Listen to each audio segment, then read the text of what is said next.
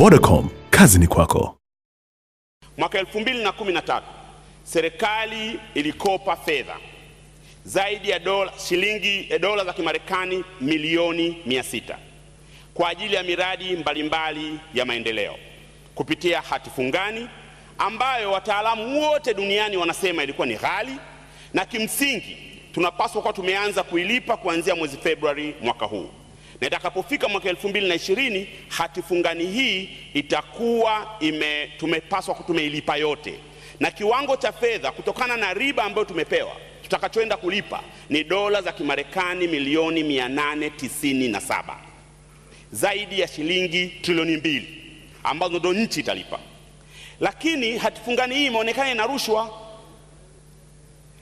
Waliopelekwa mahakamani ni waliowezesha rushwa.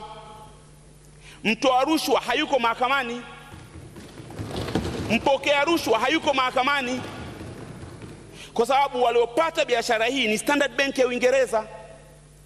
Tungependa kuona TAKUKURU wakiishtaki Standard Bank ya Uingereza, na kuna maslahi ya taifa katika jambo hili. Mheshimiwa Mwenyekiti, ukiishtaki benki hii unapata faida mbili. Faida ya kwanza, ikigundulika walitoa rushwa kwa ajili ya kupata biashara walioifanya Tanzania, Tanzania itafutiwa deni lote la shilingi trilioni mbili.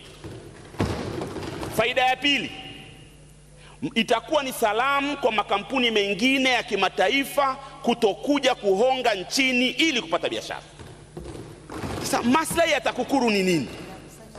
Maslahi ya TAKUKURU ni kupata picha za watu wamebeba ndoo wamepelekwa mahakamani, au maslahi ya TAKUKURU ni nchi kuepuka deni kubwa kiasi hiki? Nini maslahi ya TAKUKURU? Kwa nilikuwa naomba waziri atakapokuja kutueleza hapa alione hili kwa mapana yake. Tuna deni la trilioni mbili ambalo tukiweza kuwafikisha mahakamani Standard Bank tukathibitisha walihonga ili kupata biashara ile, linafutwa.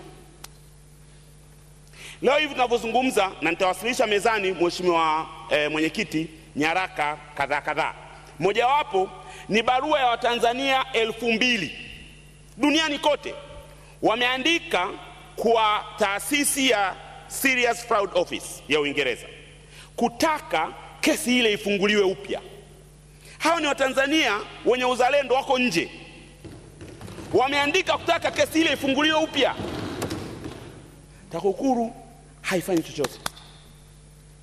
Nilikuwa naomba Mheshimiwa Spika na mwanasheria mkuu wa serikali yuko hapa, bahati nzuri amekuwa ofisi la mwanasheria mkuu muda mrefu, watazame hili jambo lina la- maslahi mapana ya taifa. Msifurahi tu kukamata watu wa dola milioni sita. Kuna trilioni mbili za kuokoa, na tayari kuna Watanzania wameshatuanzishia hili.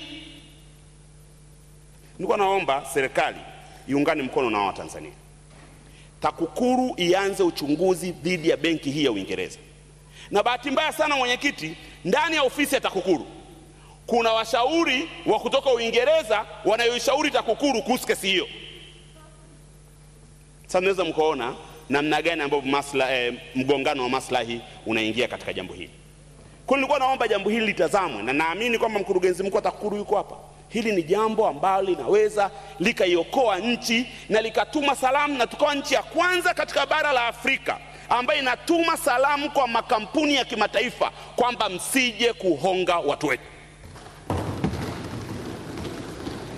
Lakini kutokana na kuvutavuta miguu kwa serikali, mimi nilikuwa naomba bunge lichukue jukumu hili, sababu serikali inaweza ikafanya, lakini ikaonekana ah, serikali za nchi maskini hizi ukizikopa hazilipi. Bunge lichukue hili jukumu.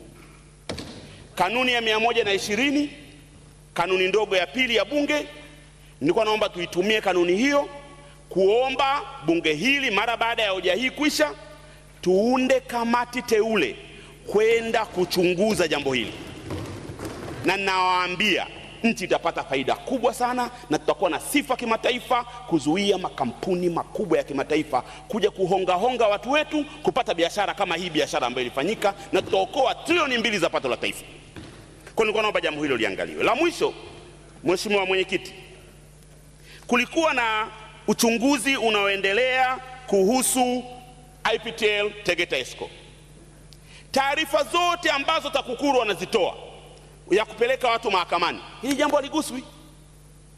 Kulikuwa kuna maazimio ya bunge hapa kwamba swala hili lichunguzwe, na aliyekuwa mkurugenzi mkuu wa TAKUKURU alishatangazia umma uchunguzi umekwisha. Kwa nini watu waliohusika na Tegeta Escrow hawajafikishwa mahakamani mpaka sasa? Kwa nini? Kinachoogopwa ni nini? Kwamba kuna majipu mengine yanaonekana, mengine ya mgongoni haya- hayaonekani, hamwezi kuyatumbua.